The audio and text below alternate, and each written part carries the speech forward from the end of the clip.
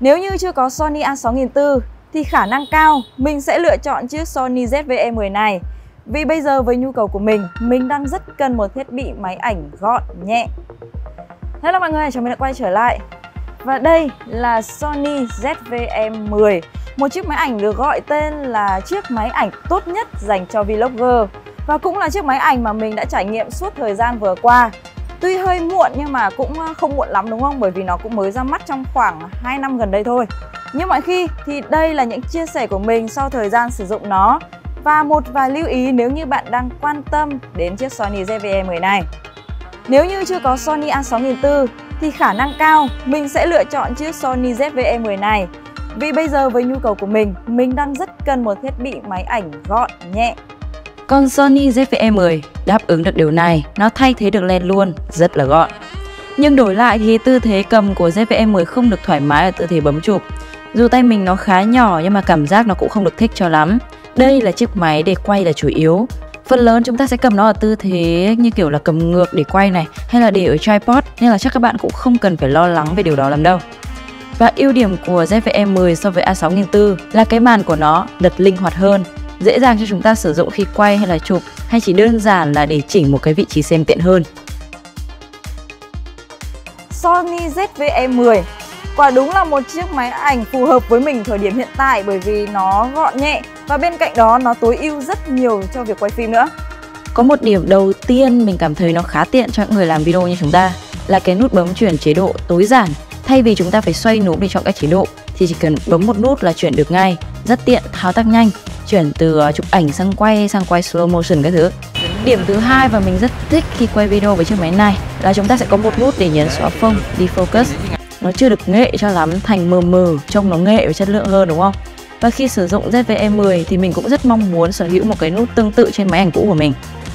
Không chỉ quay mặt đẹp và nếu như chúng ta sử dụng nó để quay video review sản phẩm thì kích hoạt cái tính năng dành cho sản phẩm thì auto bắt nét của sản phẩm không trượt phần nào.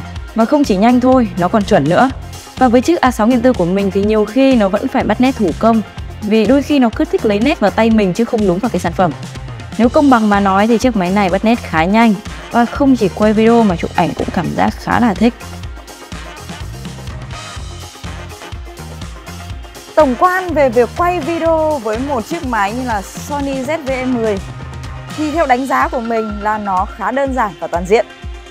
Chiếc máy này của chúng ta nhấn quay là quay nhá, rất là tiện lợi, có 4K này, có s lock này, HLG này và khả năng chống rung của chiếc máy này cũng khá là tốt nữa. Và nếu như trong trường hợp chúng ta quên không mang mic đi chẳng hạn thì chiếc máy này cũng hỗ trợ khả năng thu âm cũng khá tốt. Và ngay sau đây sẽ là những cái hình ảnh và video mình đã thu lại bằng chiếc Sony ZV-E10 này và các bạn hãy cùng mình xem và đánh giá xem chất lượng của nó như thế nào nhé.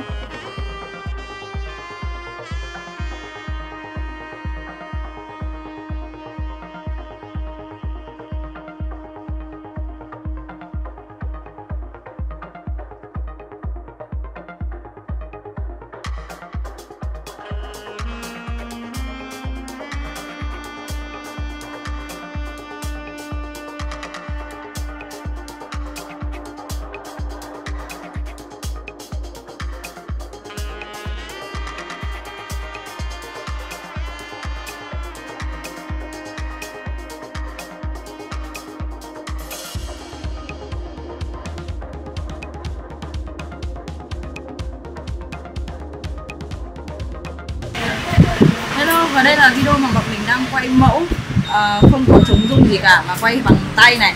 Và hiện tại thì mình đang để là S-Lock 2 Các bạn hãy thử xem là cái chất lượng quay khi chúng ta quay bằng S-Lock như thế nào Và thì nữa sẽ thử lên màu thử xem sao nhé và ở đây thì mình đang thu âm trực tiếp bằng chiếc Sony ZV-E10 Và như mọi người thấy thì có rất nhiều xe cộ qua lại ở ngay bên cạnh mình bởi vì mình đang ngồi một cái ban công. Đó, có rất là nhiều người. Và không biết là cái khả năng thu tiếng như là khả năng lọc tiếng của chiếc máy này như thế nào. Thì sau khi bạn xem xong hãy để lại bình luận ở bên dưới cho mình nhé. Ok, hiện tại thì mình đang ở một trong cái không gian khá là tối như thế này.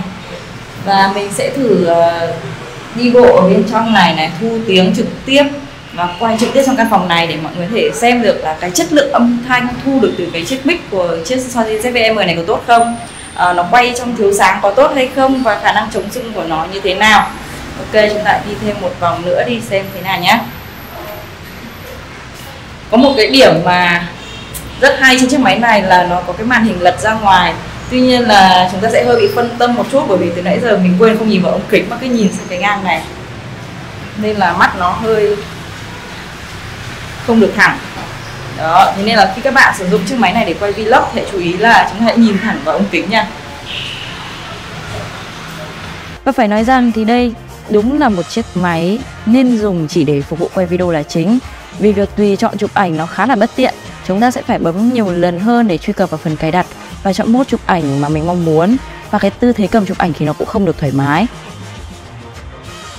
Mình nghĩ rằng với mức giá trong khoảng dưới 20 triệu đồng thì Sony ZV-E10 là một cái tên mà bạn khá đáng cân nhắc nếu như bạn có nhu cầu quay nhiều hơn là chụp ảnh.